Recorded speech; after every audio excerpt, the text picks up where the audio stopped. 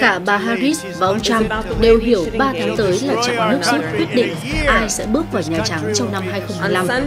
Tuy nhiên, cả hai sẽ phải trải qua một khúc đua dài là những cuộc vận động tranh cử tại các bang chiến trường và cuộc tranh luận trực tiếp vào đầu tháng 9 tới. Tuy nhiên, tính tới thời điểm hiện tại, những tín hiệu tích cực dường như đã đổ dồn hết cho tay đua Harris. Liệu có bằng cú quay xe nào dành cho Trump?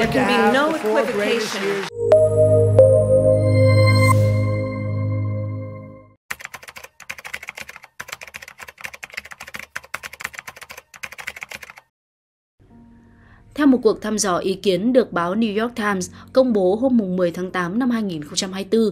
Phó Tổng thống Harris đang dẫn trước Tổng thống Trump ở các bang chiến trường quan trọng như Michigan, Wisconsin và Pennsylvania. Gọi là bang chiến trường bởi những bang này sẽ chứng kiến các cuộc tranh giành phiếu quyết liệt giữa hai ứng viên quyết định ai sẽ thắng cử. Cuộc thăm dò do New York Times phối hợp với Siena College được tiến hành từ ngày 5 tháng 8 với gần 2.000 cử tri đã đăng ký và gồm nhiều câu hỏi, trong đó có câu nếu cuộc bầu cử tổng thống năm 2024 được tổ chức hôm nay, ông bà sẽ bỏ phiếu cho ai trong hai ứng viên Kamala Harris và Donald Trump? Kết quả cho thấy bà Harris dẫn trước ông Trump 4 điểm phần trăm tại ba bang trên, 50% so với 46%, một con số có thể nói là không tệ nếu nhìn lại tình hình trước đó. Vào tháng 5, ngay cả trước màn trình diễn thảm họa của Tổng thống Joe Biden tại cuộc tranh luận với ông Trump vào tháng 6, các cuộc thăm dò của New York Times, Siena College tại ba bang trên cho thấy đương kim Tổng thống ngang bằng hoặc bị đối thủ bỏ lại phía sau. Theo cuộc thăm dò của New York Times, Siena College, tỷ lệ ủng hộ bà Harris đã tăng 10 điểm phần trăm trong số những cử tri đã đăng ký ở Pennsylvania chỉ trong tháng trước. Các cử tri tại ba bang chiến trường nói trên cũng coi bà Harris thông minh hơn và phù hợp hơn về mặt tính khí để điều hành đất nước so với ông Trump. Trong số đó, công Les Lancer, một người đã nghỉ hưu đến từ Michigan và thường bỏ phiếu cho Đảng Cộng Hòa. Ông này đang cân nhắc ủng hộ bà Harris vào tháng 11, mặc dù không đồng tình với một số chính sách của Đảng Dân Chủ, nhưng ông tuyên bố không chịu được thái độ thiếu tôn trọng và không thể chấp nhận của ông Trump.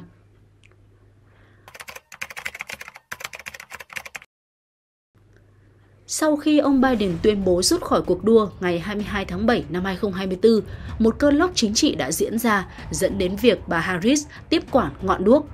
Cuộc khảo sát của New York Times Siena College có thể xem là phong vũ biểu chất lượng đầu tiên phản ánh thái độ của cử tri sau khi Đảng Dân Chủ thay ngựa giữa dòng. Đồng thời, nó cũng cho thấy những tín hiệu tích cực bước đầu cho chiến dịch tranh cử của bà Harris sau các nỗ lực hơn 3 tuần qua, bao gồm cả chiến dịch quảng bá trị giá 50 triệu đô la Mỹ. Tuy nhiên, kết quả thăm dò của New York Times Siena College cũng cho thấy bà Harris có điểm yếu. Cử tri thích ông Trump hơn khi được hỏi họ tin tưởng ai sẽ xử lý tốt hơn các vấn đề kinh tế và nhập cư, những vấn đề vẫn là trọng tâm của cuộc đua giành chức tổng thống. Đồng thời, sự vượt lên của bà Harris cũng cần được đón nhận một cách thận trọng bởi không ai chắc xu hướng này kéo dài cho bao lâu. Theo New York Times, các ứng cử viên thường giành được một vài phần trăm điểm trong những ngày và tuần sau khi công bố người đồng hành tranh cử. Bà Harris chọn thống đốc Tim Walz của Minnesota hôm 5 tháng 8 năm 2024 khi các cử tri đang phản hồi các cuộc khảo sát của New York Times, Siena College với ông Trump, sự vươn lên của bà Harris gióng lên hồ chuông cảnh báo rằng cần phải tìm ra thông điệp và đối sách mới càng sớm càng tốt. Theo đài NPR, việc Đảng Dân Chủ đổi người ra tranh cử đã khiến ông Trump và chiến dịch tranh cử của ông bị bối rối. Bởi lẽ suốt thời gian trước đó, họ đều tập trung công kích ông Biden cùng chính sách của Đảng Dân Chủ. Thực tế cho thấy sách lược này đã thành công, cộng với vụ ám sát hụt tại Pennsylvania đã đưa ông Trump dẫn trước trong nhiều cuộc khảo sát cử tri. Tuy nhiên, kể từ khi bà Harris bước vào cuộc đua, chiến dịch tranh cử của ông Trump đã mất một thời gian để tìm ra những gì cần làm nổi bật khi tấn công đối thủ. Cuộc thăm dò ý kiến của New York Times Siena College cho thấy đương kim phó tổng thống không tạo ra những cảm xúc bất an như ông Biden. Trong bối cảnh đó, việc ông Trump đưa ra những phát ngôn sai lệch gây tranh cãi về nguồn gốc của bà Harris đã khiến ông tự đánh mất điểm cho mắt cử tri. Với các tay đua, khúc cua là một trong những thời điểm quyết định ai sẽ vượt lên và về đích trước. Giống như hai tay đua kỳ cựu, ông Trump lẫn bà Harris đều hiểu rõ điều này, đồng thời biết rằng nóng vội tăng tốc sẽ dẫn đến sai lầm và bị đối thủ tận dụng.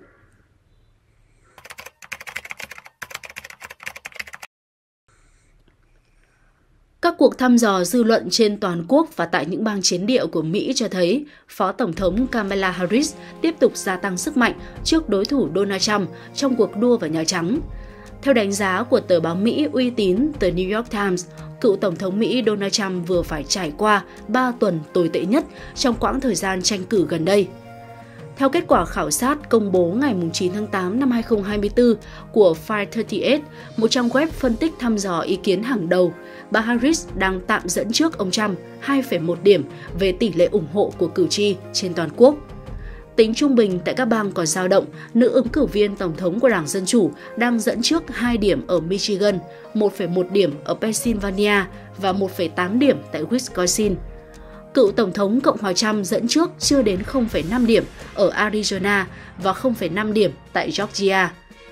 Tại các bang chiến địa không có đủ cuộc khảo sát để tính điểm trung bình, ông Trump dẫn trước khoảng 3 điểm ở Bắc Carolina và hai ứng viên ngang bằng nhau ở Nevada – Đáng chú ý, tại Nevada, các cuộc khảo sát gần đây của CBS và Bloomberg cho thấy bà Harris dẫn trước 2 điểm, trong khi tờ Nevada Independent ngày 9 tháng 8 năm 2024 đưa tin nữ phó tổng thống hơn đối thủ tới 6 điểm tín nhiệm trong một cuộc thăm dò mới. Theo báo Guardian, bà Harris, 59 tuổi, đã thay đổi cuộc đua vào Nhà Trắng kể từ giữa tháng 7 năm 2024, khi Tổng thống Joe Biden, 81 tuổi, cuối cùng đã nghe theo lời kêu gọi từ chính đảng Dân Chủ của mình để từ bỏ tái tranh cử và nhường chỗ cho một ứng viên trẻ hơn đối đầu với ông Trump, 78 tuổi. Ông Biden đã công khai ủng hộ nữ phó tướng thay mình đấu chung kết với gương mặt đại diện Đảng Cộng Hòa Chuyên gia Amy Winter thuộc Tổ chức Nghiên cứu Phi Đảng phái Báo cáo Chính trị Cúc phát biểu với hãng thông tấn PBS hôm 8 tháng 8 năm 2024 rằng trước khi bà Harris ra tranh cử tổng thống, ông Biden đã tụt lại phía sau đáng kể, không chỉ ở tỷ lệ ủng hộ trên toàn quốc mà còn ở những bang chiến địa, ví dụ như gần 6 điểm ở Georgia và Nevada. Bà Walter nói, Hiện giờ trong thời gian bà Harris tham gia cuộc đua, bạn đã thấy những con số đó thay đổi khá đáng kể về phía nữ chính khách này, tới 4 tới 5 điểm ở những bang chiến địa. Điều này phản ánh những gì chúng ta đang thấy trong các cuộc thăm dò toàn quốc. Tuy nhiên, chuyên gia này lưu ý xu hướng trên không biến những bang chiến địa từ ủng hộ ông Trump thành ủng hộ bà Harris. Thay vào đó, nó ám chỉ cuộc đua không còn nghiêng về ông Trump như hồi cuối tháng 7 nữa, và đó là lý do tại sao giới quan sát gọi cuộc đua bầu cử Tổng thống Mỹ 2024 là cuộc đua ngang tài, ngang sức.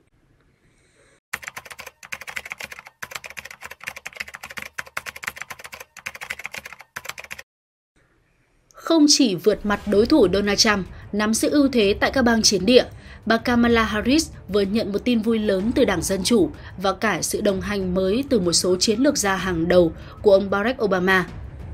Ông David Plouffe, người quản lý chiến dịch tranh cử của cựu Tổng thống Mỹ Barack Obama năm 2008 và cũng là trợ lý cấp cao trong chiến thắng tái đắc cử của ông năm 2012, đã trở thành cố vấn cấp cao trong chiến dịch tranh cử của Phó Tổng thống Mỹ Kamala Harris.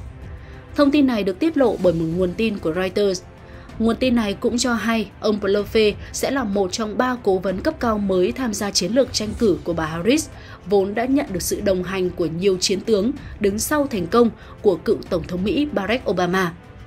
Trước đó, chiến dịch của bà Harris đã nhận được sự đồng hành của bà Stefan Kutter, một chiến binh truyền thông của Đảng Dân Chủ.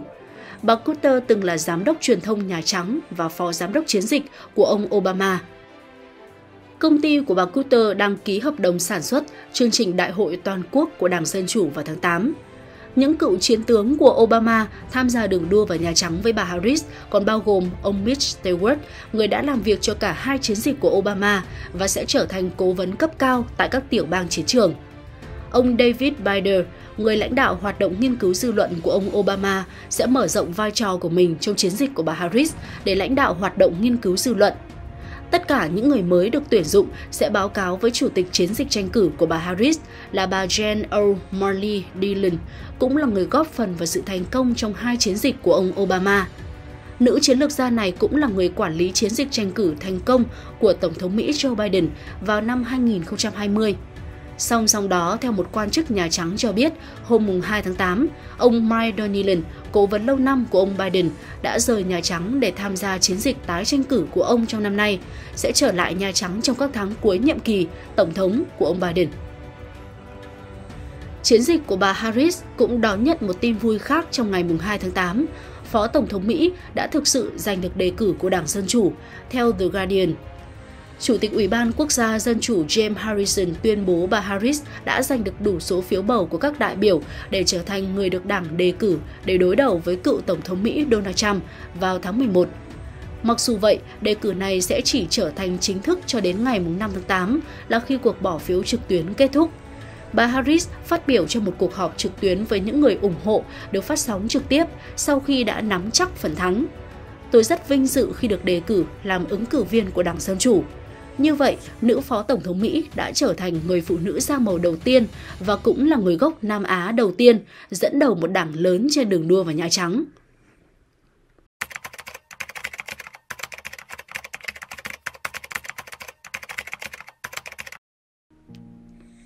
Bên cạnh việc nhận được sự đồng hành của nhiều chiến tướng đứng sau thành công của cựu Tổng thống Mỹ Barack Obama, nữ tướng Harris còn nhận được sự hậu thuẫn cực lớn đến từ một nhân vật có tầm ảnh hưởng trong Đảng Dân Chủ.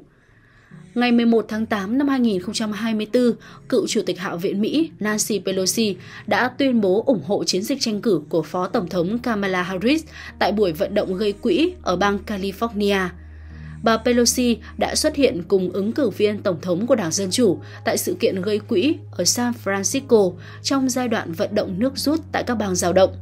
Chiến dịch tranh cử của bà Harris cho biết sự kiện đã quyên góp được hơn 12 triệu đô la Mỹ. Phát biểu tại sự kiện gây quỹ, bà Pelosi đã bày tỏ vui mừng chào đón bà Harris trở về California, nơi bà từng đảm nhiệm vai trò thượng nghị sĩ, tổng trưởng lý và công tố viên – Nhà lập pháp kỳ cựu này nhấn mạnh những thành tựu của bà Harris khi làm việc dưới chính quyền Tổng thống Joe Biden, đồng thời ca ngợi bà là chính trị gia có chiến lược. Cựu Chủ tịch Hạ viện Pelosi là thành viên Đảng Dân Chủ mới nhất tuyên bố ủng hộ bà Harris sau khi Tổng thống đương nhiệm Biden thông báo rút khỏi cuộc đua vào Nhà Trắng ngày 21 tháng 7 vừa qua – Trước đó, các nhân vật hàng đầu của Đảng Dân Chủ tại Quốc hội Mỹ gồm Thượng nghị sĩ Chuck Schumer, lãnh đạo phe đa số tại Thượng viện, và Hạ nghị sĩ Hakim Jeffrey, lãnh đạo phe thiểu số tại Hạ viện, cũng đã tuyên bố ủng hộ bà Harris trở thành ứng cử viên của đảng này ra tranh cử Tổng thống trong cuộc bầu cử sắp tới. Cùng ngày 11 tháng 8 năm 2024, Tổng thống Biden cho biết ông sẽ tham gia vận động tranh cử cho bà Harris tại sự kiện ở bang chiến địa Pennsylvania trả lời phỏng vấn của CBS lần đầu tiên kể từ khi tuyên bố từ bỏ nỗ lực tranh cử, ông Biden cho hay ông và Thống đốc Pennsylvania George Shapiro có kế hoạch tổ chức cuộc vận động cho bà Harris tại bang này. Tổng thống Mỹ cho biết ông cũng sẽ tham gia vận động cho bà Harris ở các bang khác, khẳng định làm tất cả những gì có thể để hỗ trợ nữ phó tướng của mình. Ông Biden và bà Harris dự kiến sẽ cùng xuất hiện tại một sự kiện tranh cử ở Maryland vào ngày 15 tháng 8 tới. Phó Tổng thống Harris và người đồng hành tranh cử, Thống đốc Minnesota Tim Walz vừa kết thúc chuyến vận động tranh cử tại nhiều bang giao động, thu hút hàng nghìn người tham dự. Theo kết quả cuộc thăm dò của báo New York Times và Đại học Siena công bố ngày 11 tháng 8, bà Harris đang dẫn trước cựu Tổng thống Donald Trump 4 điểm ở Pennsylvania và hai bang giao động quan trọng khác là Wisconsin và Michigan.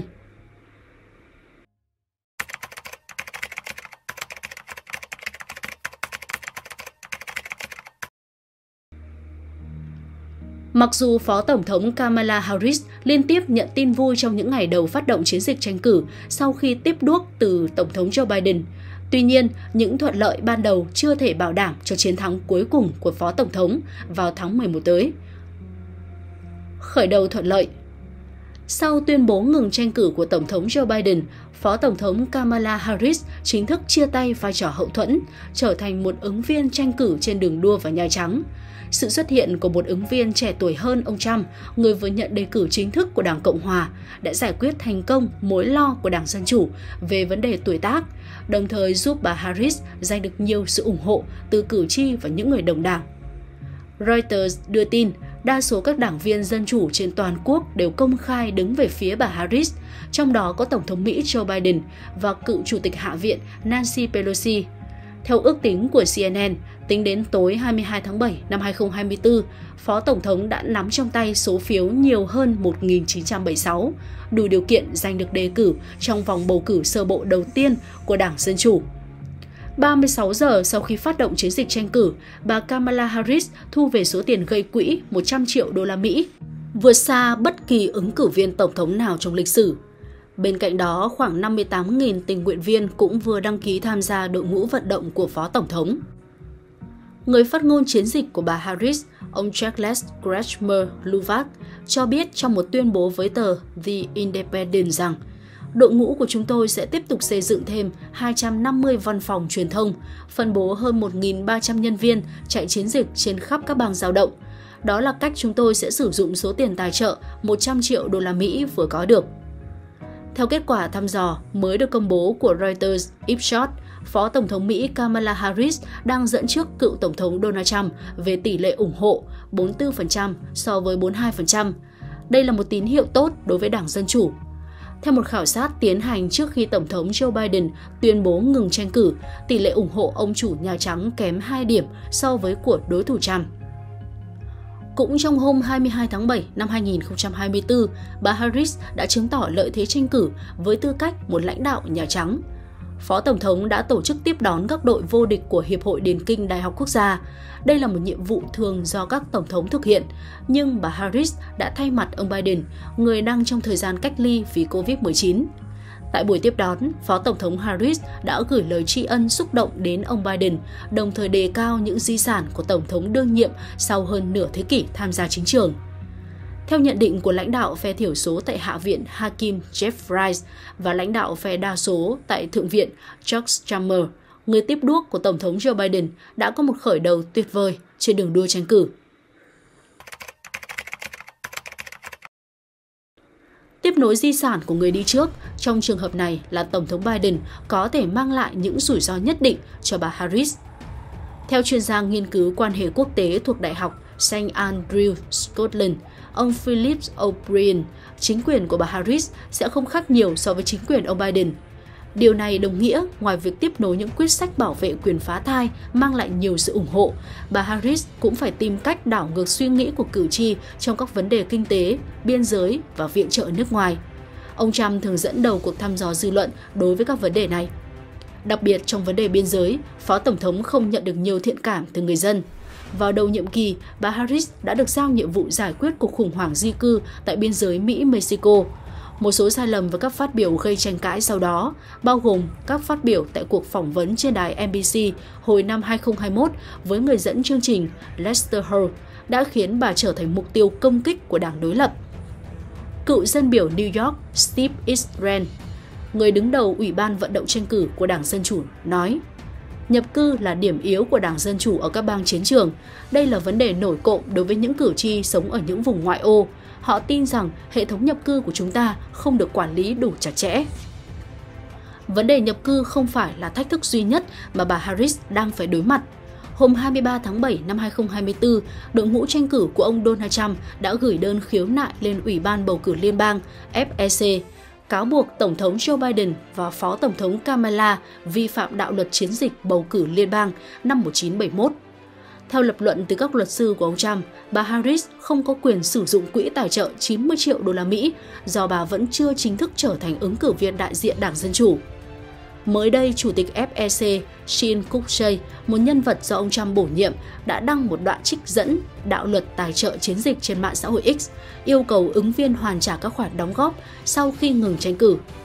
Trước những chỉ trích từ phía Đảng Dân Chủ cho rằng bài đăng của ông đang gây ra bất ổn và ngờ vực trong hệ thống tài trợ chiến dịch của quốc gia, ông Kuk-jae lập tức đáp trả.